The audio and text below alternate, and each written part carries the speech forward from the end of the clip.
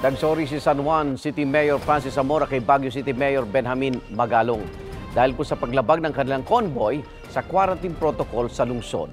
Biyernes ng hapon ang dumaan ang convoy ni Zamora sa quarantine checkpoint sa Cannon Road. Sa halip na tumigil, nagbag, nagbagal lang ang lead car ng convoy ni Mayor Zamora sa kadumiretso sa Baguio Country Club. Base sa impormasyon na karating kay Magalong, tulog daw noon si Mayor Zamora. Pagdating sa Baguio Country Club, wala silang maipakitang medical clearance. Kaya sinabihan silang dumaan muna sa triage examination. Nagset pa ng triage facility ang Baguio City Health Service Office para lang sa kanila.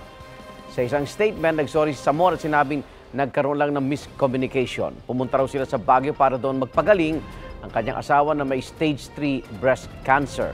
Tinatanggap naman ni Magalong ang paghingi ng tawad ni Zamora.